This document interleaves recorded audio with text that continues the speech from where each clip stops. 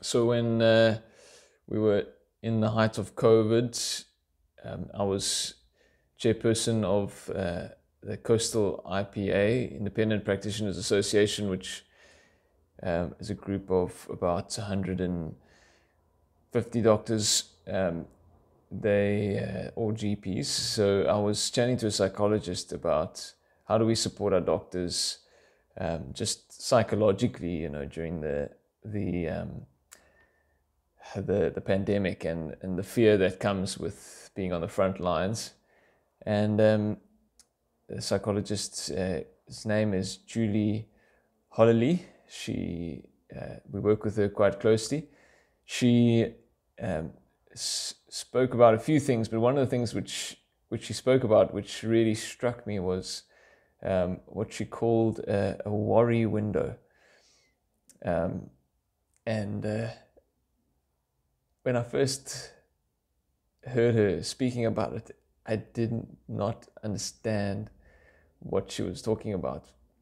Um, I understood uh, rationally, but but I just didn't connect with the idea. So what she said was that one of the ways to manage anxiety is to plan a a, a time to to worry. Um, so you plan a, a window of, of worry.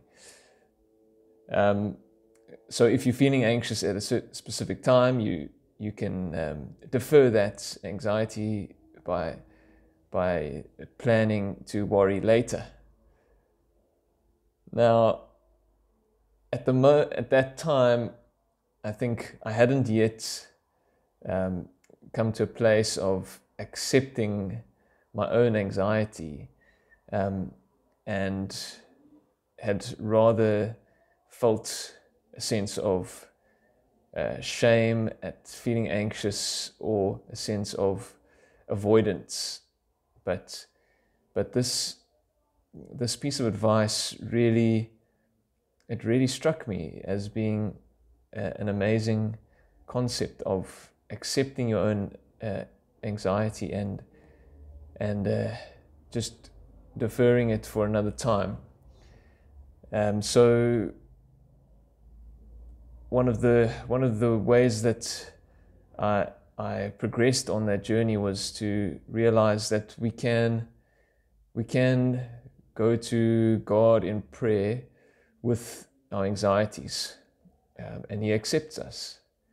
Um, we we know that that that anxiety is not good, and that God doesn't want us to worry. Um, and so when we worry, we can feel ashamed. We can we can actually draw, withdraw, or turn away from God, but that's not what He wants. He wants us to come to Him. Um, the Bible says that we should cast our burdens upon Him because He cares for us. Um, and let's confess our fears uh, before God and, and allow Him to give us peace.